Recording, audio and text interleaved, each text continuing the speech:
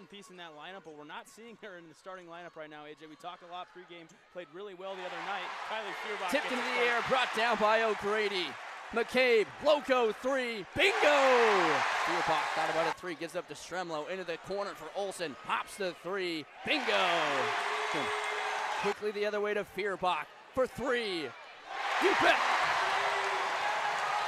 Olsen double team. Kylie Feuerbach for three. Her second three pointer of the night. McCabe to answer. Boom! Out of the foul. Taylor McCabe, top of the key, connects. Seven. All the way around to Mulaney, pops a three, bingo! Three rebounds.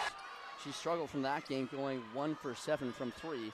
As Feuerbach answers